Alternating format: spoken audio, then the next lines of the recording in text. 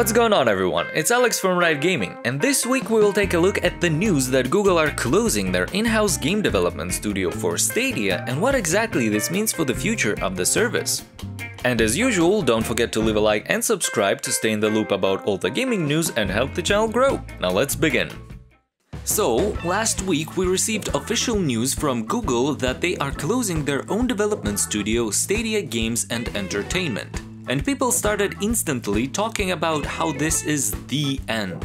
Hold your horses, nothing is as simple. To quickly recap the state of Google Stadia until today.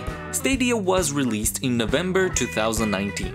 It is this attempt by Google to carve themselves a niche in the gaming industry by being amongst the first to have a hand in the development of a new type of technology, in this case streaming. Of course, they are not the first and are not the only ones. We have Sony, Microsoft, Nvidia and even Amazon, all dabbling in video game streaming to varying degrees of success as well. But Stadia was supposed to become Google's ticket into the industry with their own spin on the technology. But it was quite badly received. The problem was that for a very long while at the start, Stadia was in something of a beta phase and to participate you had to essentially pay three times to play a game. You had to cash out to buy Stadia, then you had to pay $10 of monthly subscription fee, and then buy full $60 priced games from a limited third-party library. That sounded ridiculous to most gamers who already owned a console, and there was little in the way of incentive for people to swap to Stadia until it finally turned free. Currently it works just like any other console. Buy the console, then buy games for it. And the subscription to Stadia Pro is no longer mandatory, and works just like your usual PlayStation Plus and Xbox games with Gold, giving you access to some free games every month. The only difference, since it is an all-streaming platform, 4K HDR with 5.1 surround sound streaming is also locked behind the Pro subscription. But seeing as 4K HDR is still not the standard for the average Joe, it is not that big of a deal for most people. Another problem that did and still does plague Stadia is the fact that the streaming technology is not quite there yet. Of course, it makes great developments every year, but the problem of lag and the lack of widespread, high-speed internet still hampers the experience around the world. Many people were foretelling the inevitable doom of Stadia, taking into account the terrible idea of forcing first beta users to pay for a subscription fee and the fact that the technology was not yet good enough, coupled with the internet problem I previously mentioned.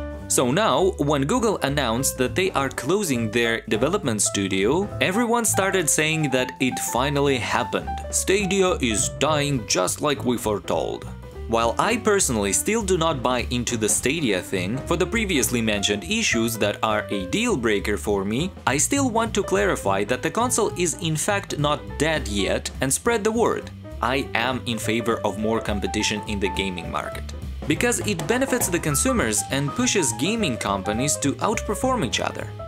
When Google announced Stadia, they essentially made two statements, setting two goals. One, now we have our own gaming console because we believe that streaming games is the future. And two, since we have our own console, we will also make our own games in our own studio. Technically, they are now backing out of only the latter.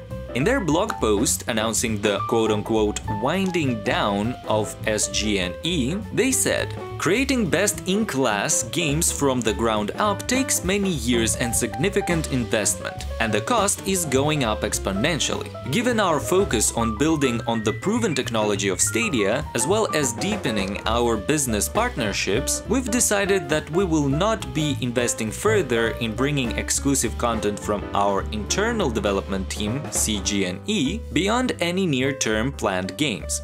Basically, they realized that they do not have the experience, time or maybe resources to make their own AAA content and decided to focus on perfecting the streaming service while providing only third-party content. All in all, I say it is an understandable business move that clearly shows Google's priorities and reinforces their commitment to make Stadia a thing. So for all of you Stadia users out there, Stadia is not going anywhere. At worst, Stadia enters a semi-hibernation state where all they do is silently add more games to the console's library and work on the quality of the technology itself. And that's all I had on this matter. Thank you everyone for watching and please don't forget to share your opinions with me down in the comments. This was Alex and I'll see you next time.